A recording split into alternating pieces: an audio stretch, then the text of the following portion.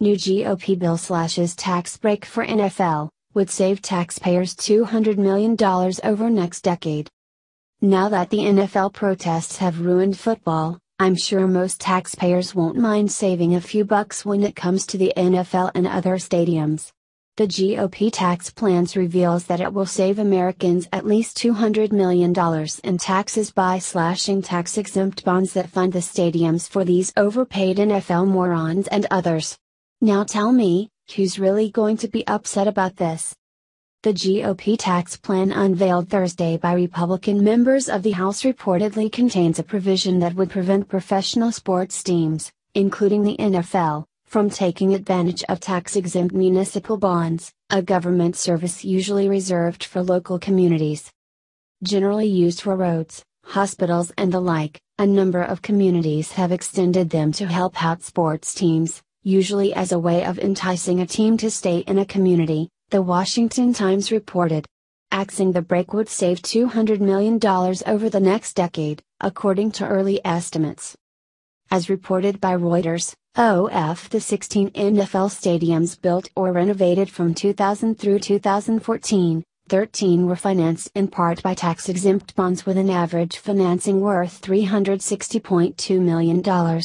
The total costs of these bonds was an estimated $3.7 billion. The provision included in the GOP's tax bill would affect all sports teams, including those in the MLB and the NHL. Similar resolutions could wind up being added to the tax bill as well later down the road. Speaking in late October on Fox and Friends, Representative Matt Gaetz shared his plan to add a provision to the tax reform bill that would eliminate tax loopholes for any NFL teams that protest the national anthem, according to Newsmax. I don't think that the millionaires and millionaires associated with professional sports ought to get a special tax break that's not available to the regular small businesses and regular folks in my district and across America, the Florida Republican said. If there are players with concerns about racial inequality or the criminal justice system, rather than taking a knee, how about they take a stand and actually advocate for some proposals that they think might improve quality of life for people? He added. In a statement published in September, Gaetz added further details about the benefits enjoyed by the NFL.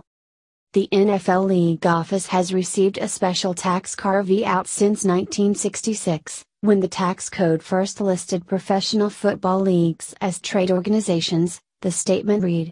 Though individual teams are not tax exempt, the NFL League office is. His remarks seem to go along with the sentiment of President Donald Trump, who has lashed out at the NFL over its ongoing national anthem protests by highlighting the massive tax breaks it receives. Why is the NFL getting massive tax breaks while at the same time disrespecting our anthem, flag, and country? Change tax law. Donald J. Trump, at Real Donald Trump, October 10, 2017.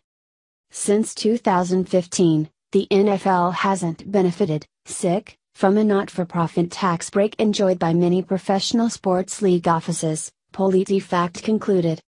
However, it does enjoy tax exemptions on municipal bonds used to build stadiums.